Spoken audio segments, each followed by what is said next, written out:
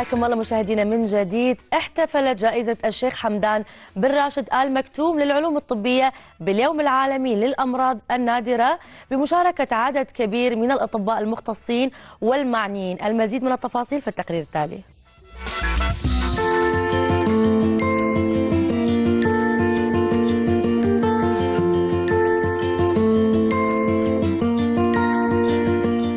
يوم الأمراض النادرة يصادف من كل سنة آه، هو 28 فبراير. فهاليوم العالم كله يحتفل بالأمراض النادرة ويعرف المجتمع بالأمراض النادرة؟ إحنا هنا في دولة الإمارات من خمس سنوات بدينا نحتفل بالأمراض النادرة وهاي على الخمس سنوات متتالية ومثل ما لاحظت الحضور قوي في ال- حضور هذا الحدث نفسه.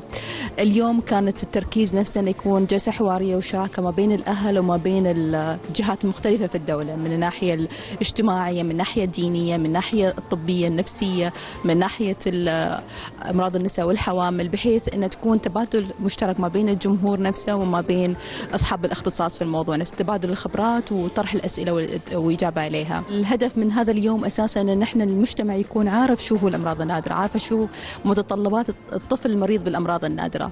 كمدرس كمعلم يعلم الطفل أساسا في المدرسة نفسها كطبيب يعالج ويتابع هذا المريض نفسه. كحتى كزميل دراسة أساسا عندك إياها في المدرسة نفسها أن هذيل لهم احتياجات لهم وجود لهم كيان أساسا. ولازم نحن مع بعض يدا بيد ويوما بعد يوم نساعد ونتكاتف الجهود نفسها نساعد هالمريض ونوصله بحيث أن يكون شخص فعال في المجتمع نفسه.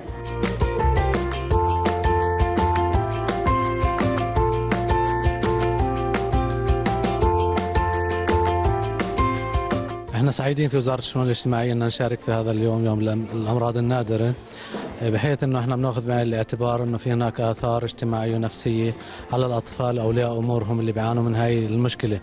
عندنا مجموعات الدعم الذاتي اللي بتساعد هاي الأسر في إنها تتخلص من المشكلات النفسية والاجتماعية بيواجهوا أولياء الأمور كثير من المواضيع مثل موضوع الصدمة الانفعالية بوجود طفل من هذا النوع آه، الشعور بالذنب تجاه أحد الوا- الوالدين تجاه وجود مثل هاي المشكلة.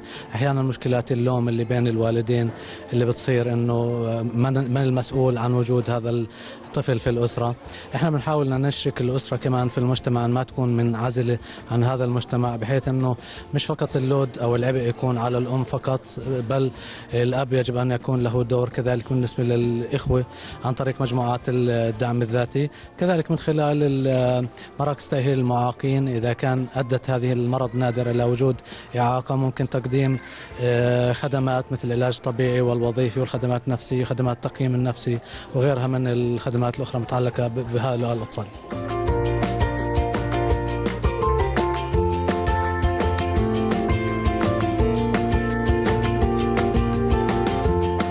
التوعية الصحية رفع مستوى الوعي الصحي في المجتمع. آه، المقابلة المباشرة مع مع ال- الأهل نشوف شو احتياجاتهم شو عشان نشيل الحاجز اللي بيننا وبينهم هذا واحد من الأسباب. يمكن عندهم وجهة نظر احتياجات نحن غايبة عنها بنتناقش فيها. آه، إيش ممكن نساعد ونطور العائلة اللي عندها أي طفل معوق أو تفكر إنه يصير حمل وخايفين من من الأطفال المعوقين شو ممكن الاحتياطات اللي واحد ياخذها قبل الحمل أثناء الحمل؟ وإذا صدف وصار بدون ما يرجعون إيش ممكن واحد يتعامل بهالطفل؟ هل هذا الطفل في المستقبل بيكون عضو فعال وإيجابي في المجتمع؟ كيف ممكن نحطه في هالخانة الإيجابية وانه يكون إنسان طبيعي ويتعامل كإنسان طبيعي ويعيش كإنسان طبيعي؟ فتناقشنا من كافة الجوانب من الناحية الطبية من ناحية زرع الأجنة قبل لا يطلع الطفل وأثناء الحمل وبعد الحمل وك- وكيف وضع الأسرة؟ ش- كيف تتعامل مع هذا الطفل من ناحية تغذيته سلوكه آه، تربيته الاحتياطات اللي ممكن ياخذها؟ كيف الجزء ال- الطبي ممكن يساعد الأم؟ وكيف ممكن الشؤون الاجتماعية تحقق مطالبهم اللي إحنا ما نحس فيها؟ وهذا شيء جيد أن يشجع الناس ويشجع الآباء والأمهات أنه ما يفقدون الأمل. إنها ممكن يكون إنسان ممكن نتعاون وياه ممكن نخلق ظروف تساعد وتخليه إنسان سعيد.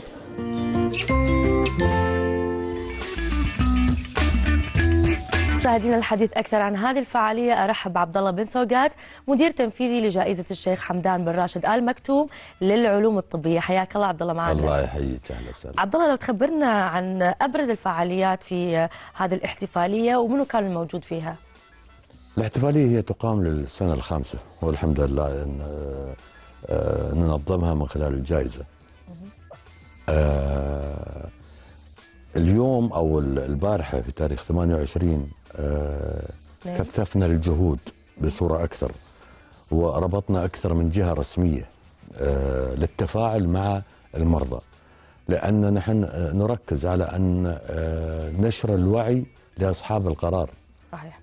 أهل المرضى و- و- وأصحاب اللي يعانون من هذه المشاكل أكثر ناس فاهمين عندهم وعي بهذه المشكلة.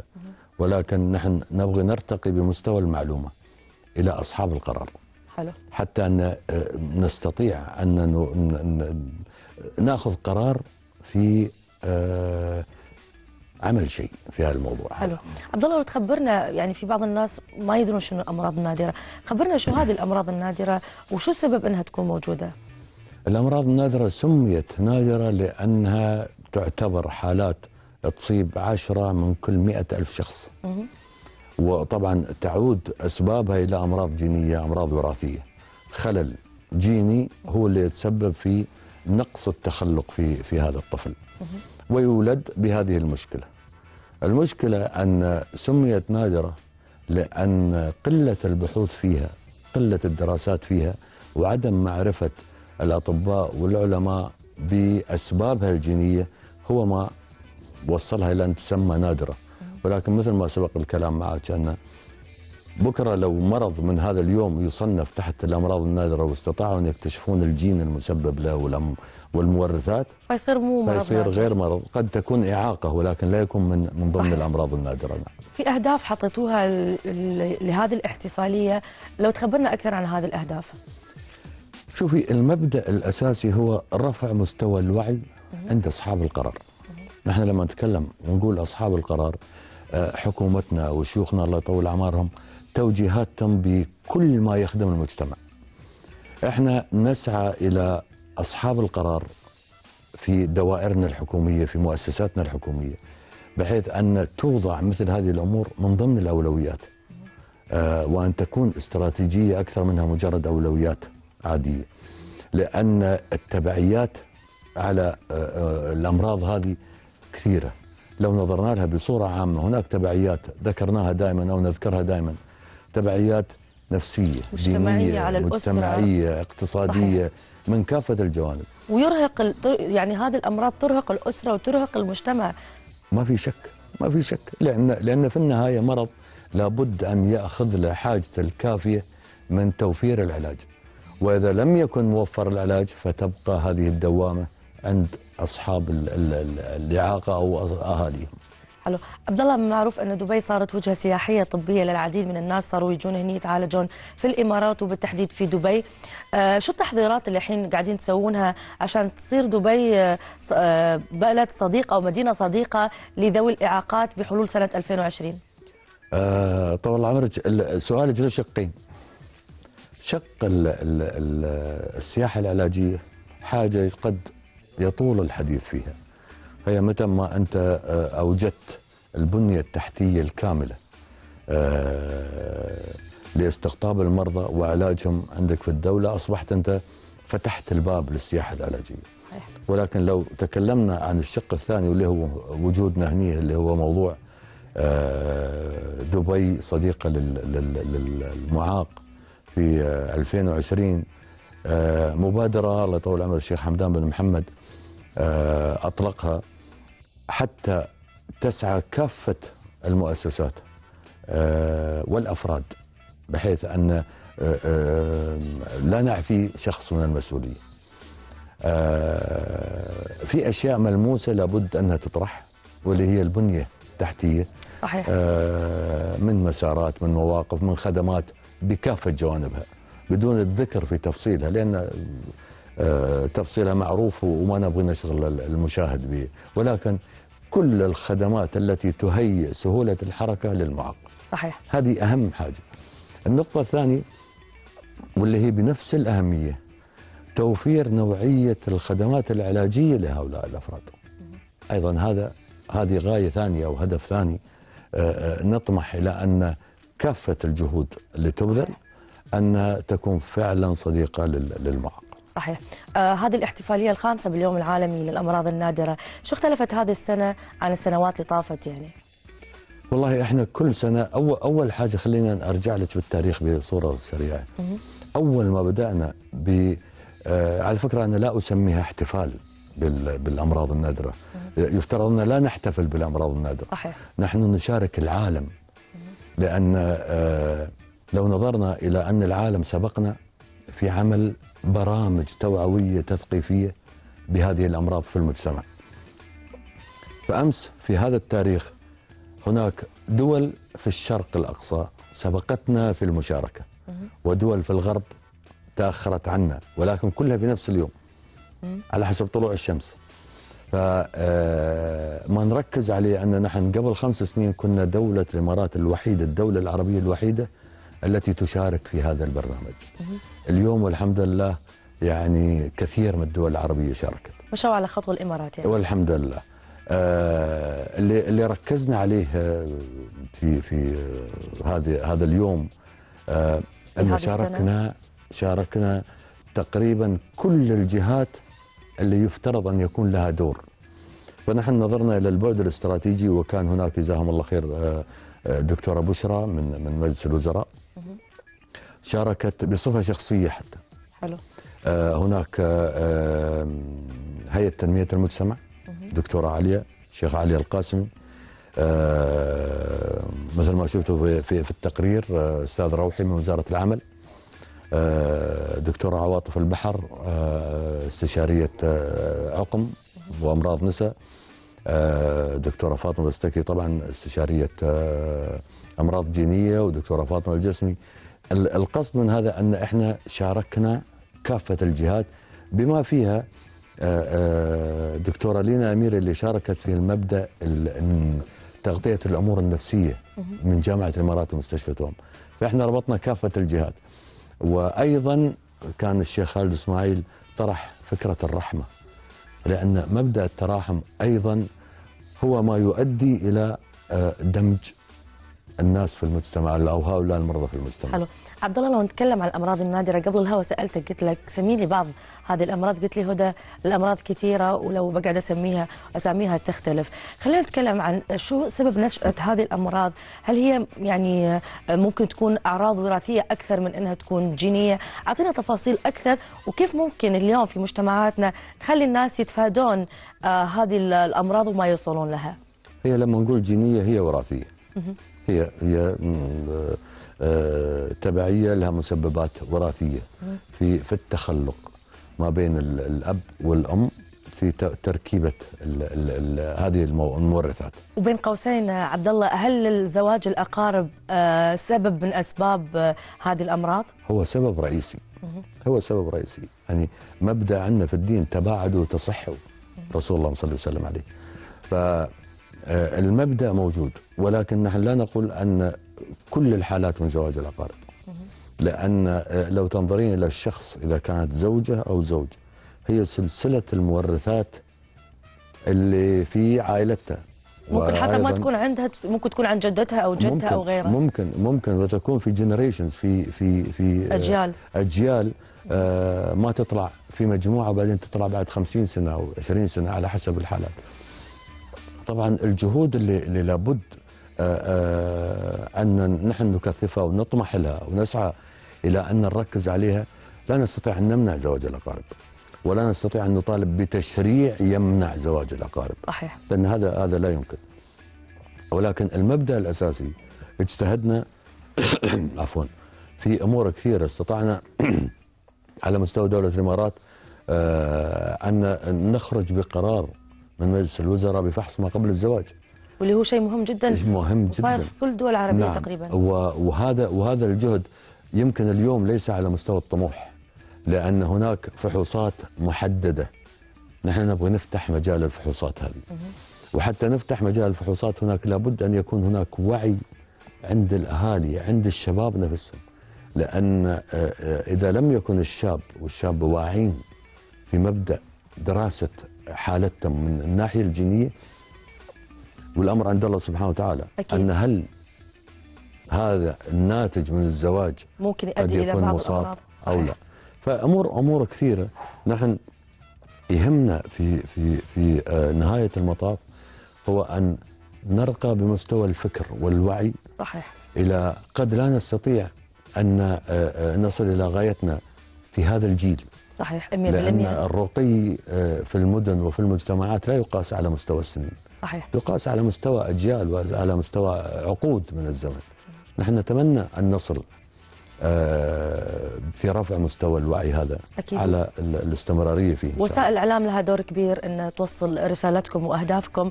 عبد الله لو تخبرنا طرحتوا العديد من القضايا اللي تخص الأمراض النادرة في هذه الفعالية. لو تخبرنا عن أهم القضايا اللي طرحت.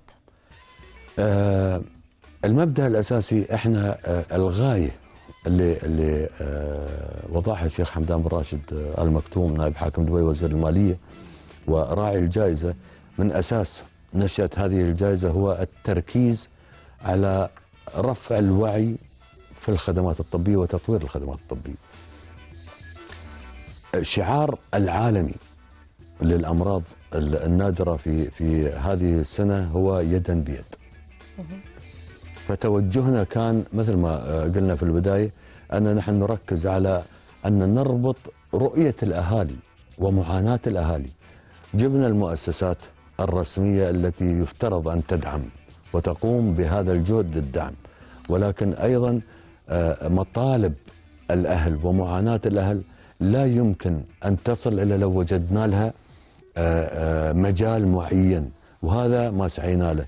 ففتحنا الباب من خلال آه، آه، الاحتفالية البارحة بأن آه، يكون هناك باب للتواصل لكل أهالي المرضى من خلال مكتب الجائزة ومن خلال المركز العربي للدراسات الجينية بحيث أن يجمع المعلومات ونحاول أن نوصلها بأنسب طريقة للمسؤولين.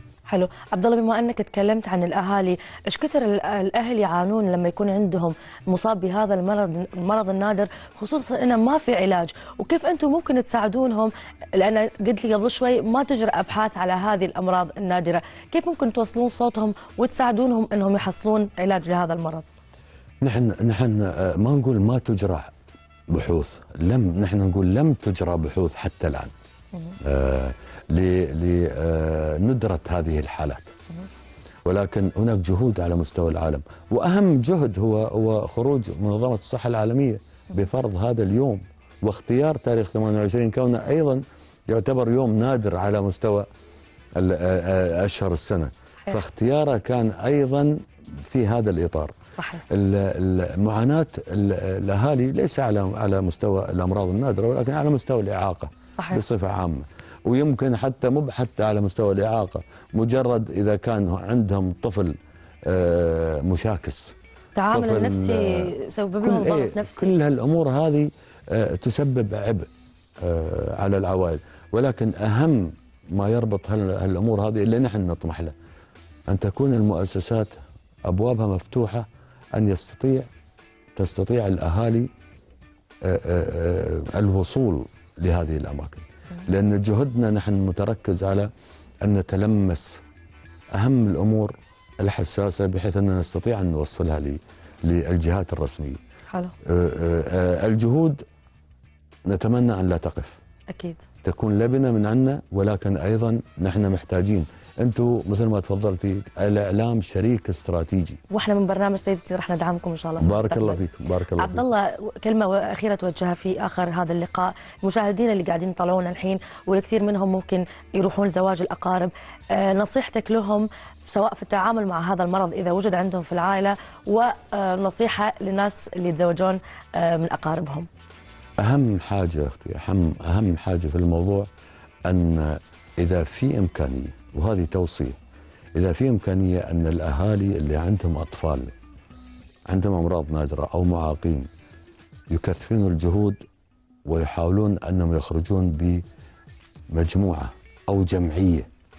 لأن اليوم آه، آه، قوة الضغط من خلال مجموعة صحيح. على المؤسسات قد تكون أفضل من آه، آه، آه، الركضة خلينا نسميها في في طلب مساعدة في هذا أو طلب مساعدة.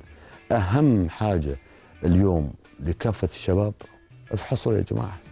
مو صعب الموضوع صحيح موفرت المجال لكم موفرة كل حاجة. صحيح فقضية الفحص ليست بمعضلة، معضلة هذا الفكر، هذا الدماغ اللي نحن يحتاج أن نوازن الأمور بصورة أفضل. أكيد كل التوفيق لكم أخوي عبد الله بن سوقات وإن شاء الله إحنا نحاول من خلال برنامج سيدتي ومجلة سيدتي ان ندعمكم وشكرا لحضورك معنا. بارك الله فيكم شاء الله يوفقكم إن شاء الله. مشاهدينا راح نروح فاصل ونرجع نكمل فقرات سيدتي لا تروحون بعيد